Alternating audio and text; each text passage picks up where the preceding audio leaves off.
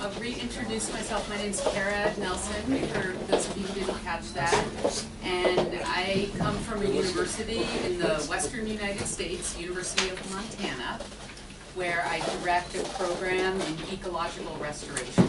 Ecological restoration is the field of assisting in the repair of ecosystems that have been degraded, damaged, or destroyed. And I also serve as the vice chair currently and immediate past chair of the Professional Society for Scientists and Practitioners in the field of ecological restoration.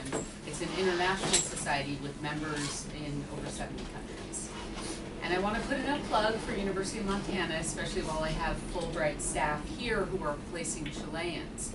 We recently did an evaluation, a collaborative group did, on the field of ecology and scholarly productivity within the field of ecology, and UM ranked fifth in North American institutions. So for those of you who are unfamiliar with that region, it's similar in climate to here, so Chileans should feel right at home with volcanoes, earthquakes, and all associated with them, but also um, similar conditions for forests and forest ecosystems, which is what drew me to come here to Chile. So today I'm going to talk a bit about the field of ecological restoration and some remarkable things that are happening within the field, and then opportunities in Chile and uh, two projects that I'm working on while I'm here. So ecological restoration um, began in full force and identified as a field only in the 1980s, so it's a relatively new discipline. And in the last 25 years, it has gone from a niche area within ecosystem management to a dominant activity that's going on in natural resource management across the globe. We are now spending over $3 trillion annually in the repair of degraded ecosystems, which is really an amazing opportunity to improve not just ecosystems, but human well-being with the goods and services that we get from ecosystems. And I just wanted to point out something really inspiring, again, from my home in Montana. This is the Clark Fork River and the Blackfoot River from the movie A River Runs Through It, a wild river running through Montana, uh, emptying the western Rocky Mountains. And you'll notice something seems odd about this river, right? It looks engineered. Well, it was engineered because like Chile, we have a long history of mining in western Montana, this giant river ecosystem was moved, rechanneled, and toxic sediment dredged out and removed, and the ecosystem restored. My lab assisted with the vegetation um, reestablishment and restoration and is now a fully functional floodplain. Of course, an improved ecosystem. It cost $100 million to implement this. It brought in $200 million of direct economic activity. So restoration is really important, not just for the ecosystems that are being improved, again, the goods and services, but also as uh, a way to reestablish the connection between humans and natures and restore our economies. So I said something remarkable was happening. The UN Convention on Biological Diversity issued a global challenge in their strategic targets to restore fifteen percent of degraded ecosystems worldwide by twenty twenty. This is in their twenty ten strategic plan, fifteen percent of degraded ecosystems. And there are countries who are now pledging this. Uh, This is a picture I took in Kuwait where there's one individual tree left of the only native tree species left in Kuwait. They call it the lonely tree. And this is a common garden with seeds from the lonely tree that are being used to restore Kuwait. It's a fascinating but inspiring story about what people are trying to do today to meet this challenge. Um, I'm gonna be talking mostly about forest restoration, and there's a similar challenge for forests in Germany, the Bonn Challenge, issued by IUCN. Um, and this is a challenge to restore hundred fifty million hectares of forest land, also by twenty twenty. And this shows current pledges, it might be a little higher than this, we're at about sixty-five percent of the way there with pledges. So countries have pledged, the US pledged about ten percent, Brazil and China are also very large. Chile pledged 0.5 million hectares. Okay, so in Chile, the issues with forests and the need for forest restoration is driven primarily by plantation forestry. Um, in Chile, there's about thirty million hectares potential of forest area, so this is in the sixteen, seventeen hundreds. Uh, people have modeled that that's about how much forest was there. About half of that was gone by the eighteen hundreds. And in the nineteen fifties, the US did an inventory of forests in Chile, and there was about ten million hectares left. So much of the land that was formerly forested was converted to wheat plantations, um, starting in the eighteen eighties. But more recently, there's been this conversion to, um, uh, plantation forests of pine and eucalyptus. And so I've got a schematic here, starting in nineteen seventy-five. This is in the area around Concepcion, so, um, south central Chile. And, um, the green here is areas of land that were covered by native forest in nineteen seventy-five. And this is by two thousand, so that was two-thirds loss over sixty-seven percent loss in that period of time. What's interesting is that in Chile overall, the story is about reforestation. So Chile is gaining forests, but that's because it's plantation forests that are coming in. So what's being lost is native forest, and Chile is considered a biodiversity hotspot for forest ecosystems with a high degree of endemism, species that only occur in, within a, a small regional area. This, these are seeds of cacao, which is an endangered species of restoration concern in Chile. And here's just a picture of a pine plantation forest, and you can see that, um, of course, the species are different, but the structure is also very different in these forests, and therefore the effects on biodiversity and goods and services are different as well. Okay, um, interesting for me, coming from the United States, is looking at the drivers of restoration in Chile. And they are, restoration is primarily occurring because of the Forest Stewardship Council.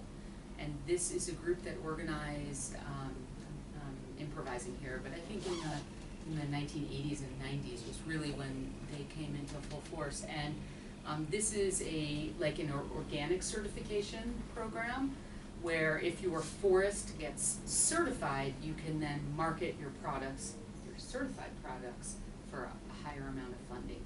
And so it's through this FSC certification program that the forest companies in Chile are engaging in restoration. So, I mentioned this amazing opportunity. We have calls, pledges for nations to participate. We have a very high amount of funding going into restoration. It would be really nice if in a hundred years from now, our, you know, our global community says, wow, that was really an awesome investment. We're so glad we spent three trillion dollars every year improving our ecosystems. But it's a huge challenge because of course repairing ecosystems is much more difficult than degrading them in the first place. And so we have a lot of needs within the field of ecological restoration in terms of how this is gonna unfold. And the time is right, right now that we have full potential. So, um, I'm gonna talk today about, very quickly, about, um, two activities that I'll be doing on, that I've started working on here. I also wanted to mention the opportunity for me, as a researcher from the western United States, my research program has been entirely based in the western United States. And I mentioned I direct a ecological restoration program at my university. Our students participate in capstone programs and field learning, and it's all been oriented towards the western United States. My work with the Society for Ecological Restoration has been global in nature, but my opportunity to participate in international research has been really limited. So, um, thank you to the Fulbright program for providing this experience for me. And the two things I'm working on are first, identifying priority areas for forest restoration, which is incredibly important because we wanna be investing our resources into the areas that are most in need. And then secondly, well, the first one's at the landscape level. Secondly, once areas have been identified for restoration, what is an appropriate target to restore them to?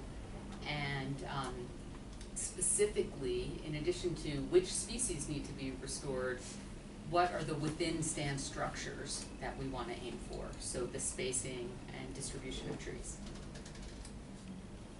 So this map is the IUCN map where they identified priority areas for restoration. And this map was done at a very coarse scale. And the idea was to build broad support. However, on a technical basis, it has a lot of limitations. It's really been beaten up.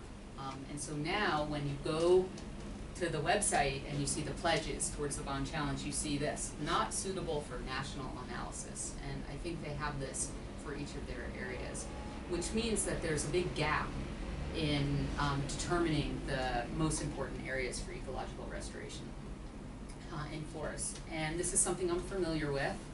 I did an assessment in the western United States across 11 states of 44,000 forest restoration treatments and their efficacy.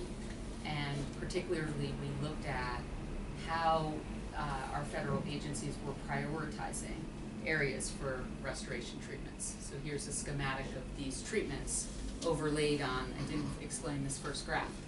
This shows level of priority with the orange being predicted to be in most need of restoration. And I won't, I won't show you results, but just to say that only thirty-six percent of the treated area within these eleven western states, there's forty-four thousand treatments, were in areas that were in high priority need for ecological restoration. So thirty-six percent is a pretty good percent, just a little over a third. But it suggests that in the United States, we are not using the most effective methods of identifying those areas. So building off of that, one of the reasons I wanted to come to Chile and be at the University I'm in Concepcion is Cristian Echeverria, who's a global expert in landscape ecology. He's an associate professor in the forest sciences department. He also shares um, my interest in being active in professional societies. He's the founder of um, the uh, Latin American and Caribbean Society for Ecological Restoration, as well as um, being the president of the Chilean Society for Landscape Ecology. And so, just very briefly, we are working with seven institutions from Mexico to Tierra del Fuego. And this is part of the teaching I'll be doing at Fulbright. We're doing an international collaborative course where the students are uh, building a system for prioritizing forest landscapes for restoration. And um, we are going to be presenting at a large congress in the summer and um, working with IUCN to build this into how the Bonn challenge and other activities are unfolding. The second project I'm working on is these reference models to guide forest restoration at the stand scale, and this is a very Chile-specific project. So um, there, as I mentioned, the forest companies are very interested in restoration right now. And um, there are these high value forest stands, you know, that have been identified for restoration. But how will this restoration unfold? Where will the seeds come from? And um, you know, what is going to guide the transformation of these forest types from plantations to the uh, rich ecosystems that we hope to have. And something that my lab has been doing in the US is working on identifying the spatial patterns within reference stands. So um, you can imagine that if you want to leave a certain number of trees or plant a number, a certain number of trees in a stand, you could disperse them, as in the picture of the plantation, in a regular fashion. Or you could have clumps of trees with openings, right? And so what we're looking at is for a set of seven forest types in Chile what is the spatial pattern of trees within the stands? And so first identifying that, and then secondly, using what we learn about that spatial pattern to guide prescriptions for forest restoration. And um, we've identified the forest types we're working in and the stands to visit. We're visiting three to five um, parcellas in each of these forest types and collecting data on STEM maps that we'll then be using to build these models. So this is just an example of a reference stand um, and the clump sizes in terms of number of trees. And uh, an example of pre-treatment, this is from the US, my example. In the US, it's not about planting trees, we're trying to remove trees because we have buildup of uh, tree species from the absence of fire. Without going into that, it's, so it's a different, it's tree removal rather than planting, but you can see this would be the pattern that the prescription to try to more closely resemble this reference forest type. So again, we have the Bonn challenge, we have two-thirds of the way there to the pledges. It's still really unknown whether when we implement these projects, we're going to get the results that we want. And so as a global community within field of forestry, forest ecology, and forest restoration, there's a, lot of hard work to do and really excited about the opportunity to be here, be part of developing some of these solutions.